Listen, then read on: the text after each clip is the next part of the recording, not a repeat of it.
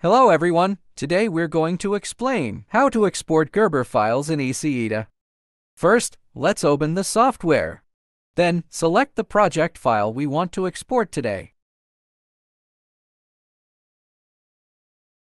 This is a schematic and PCB that have already been drawn. We can take a look first. This is the finished product. Before exporting Gerber files, we need to confirm that our schematic has no serious issues. First, you should check it yourself. The software provides a checking tool. Use DRC to check if there are any issues in our schematic. After our check, we can see that the error count is zero. So there are actually no issues. As for the warn, we can take a look there are two items. The first item indicates that this net is connected to only one endpoint, meaning it's only connected in one place and not to other locations. We confirm that during the design. It's not meant to connect to other locations, so we'll ignore this warning. The second warning is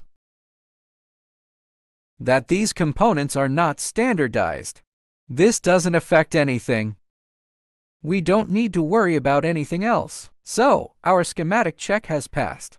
And our PCB also needs the same check. Use Design Check DRC. We found two errors. Let's take a look. Click here. It will jump directly to the error location. Let's see. It's indicated here. Let's zoom in. You can zoom in by scrolling the mouse wheel up. These two points are short-circuited. So we'll delete this trace. After deleting it, we'll check DRC again.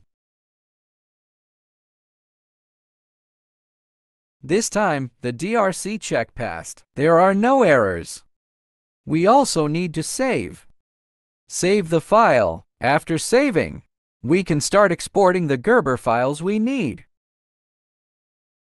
First, let's copy the file path. It will be easy to save it here later. Click this option, Export PCB Fabrication Files. Then, for the file name, we'll see if we need to modify it. If needed, go ahead and modify it. This option, this is the one-click export option in EasyEDA. It already meets manufacturing requirements, so we don't need to change it. If you need to change it, you can click here to select the layers we need to export. This includes vias, silkscreen, and other information to be exported. Choose according to your needs. For standard manufacturing, this option is not necessary, so we can just use the one-click export function. Then, continue to click Export. During export, it prompts again. First, perform a DRC check. Since we've already done it, we'll choose No. Continue to export. Continue to export, save it to our previous folder. Just click Save. Then, we can see this is the exported file. The exported file is a compressed archive. If we're manufacturing a PCB, we can directly submit this compressed file to the PCB manufacturer. That's all. The PCB manufacturing will be completed. We can also open it and take a look. It contains many files, including vias and information for each layer. We don't need to modify any of these. Just close it, because for manufacturing, we only need to submit this compressed file.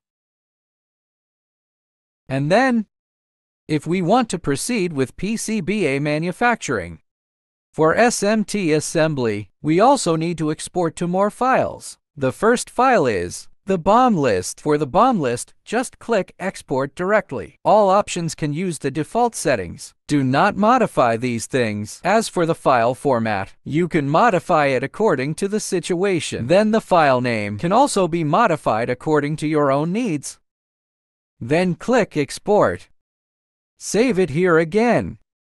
Now we can see there's a file starting with boom. This is the exported BOM table. If you need SMT, you'll need to provide this file, and SMT also requires another file, this coordinate file. It's the same for this one. The file format can be chosen according to your needs.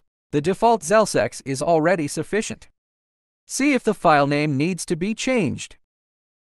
Whether the unit is millimeters or mils, this also uses the default. The content to be exported is also default. Continue to export. After exporting, save it here again. In this folder, we now have an additional coordinate file. So now, using these files, we can complete the SMT manufacturing of the PCB and get the final product. Alright, thank you everyone. That's all for today.